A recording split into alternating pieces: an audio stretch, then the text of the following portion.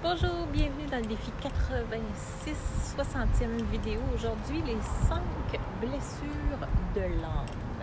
Il y a 5 blessures d'âme.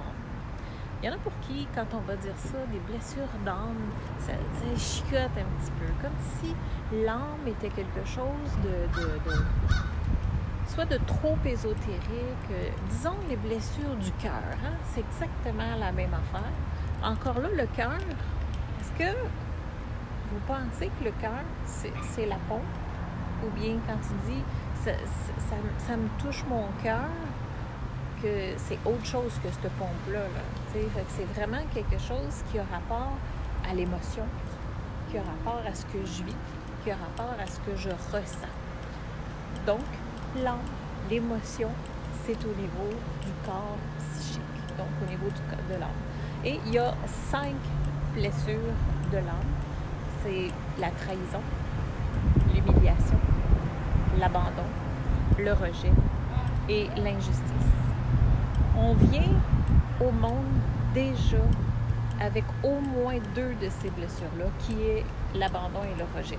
Tout le monde, tout le monde, tout le monde sans exception, a la blessure d'abandon et de rejet. C'est pas tout le monde qui a la blessure de trahison ou la blessure d'injustice, ni la blessure d'humiliation. Ça, ça reste à voir. Mais tout le monde arrive avec l'abandon et le rejet.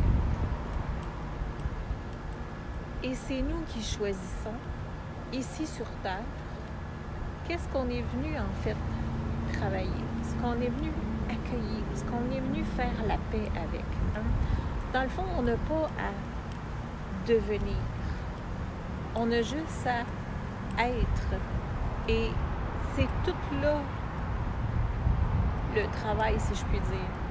C'est que on s'est comme fractionné en mille morceaux parce qu'il y a plein de parties de nous qui sont blessantes et qu'on n'accepte pas, qu'on rejette.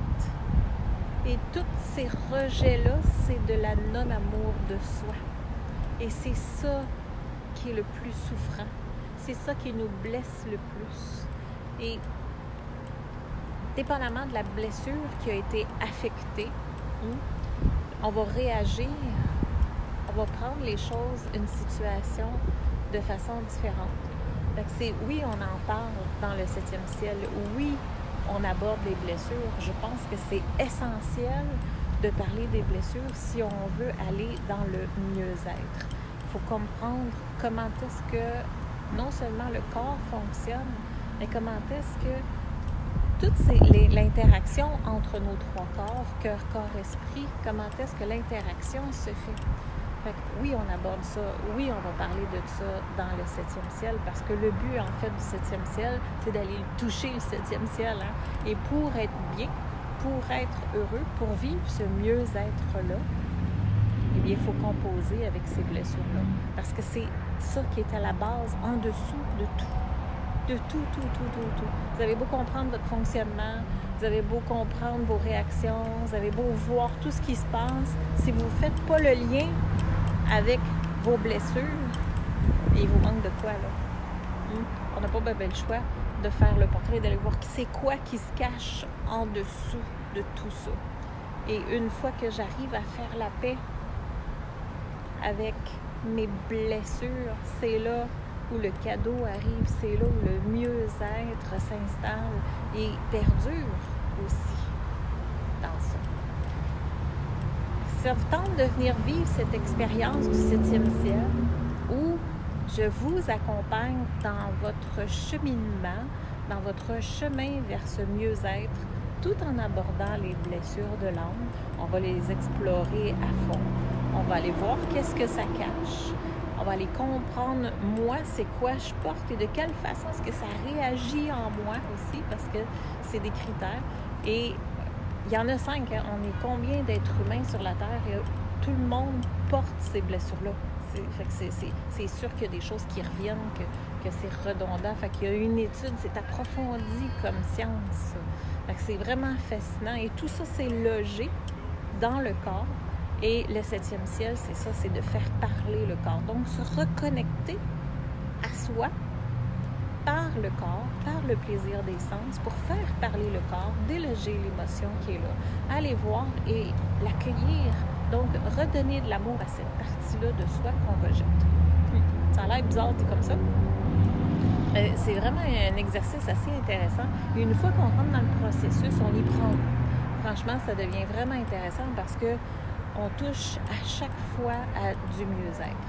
Ben, si ça vous parle, si vous en avez marre de tourner en rond et de recommencer toujours les mêmes choses et que ça vienne jamais satisfaisant, vous avez le goût d'essayer quelque chose d'autre qui est beaucoup plus approfondi, une démarche où vous êtes accompagné non seulement par un guide, c'est à peu près ça que.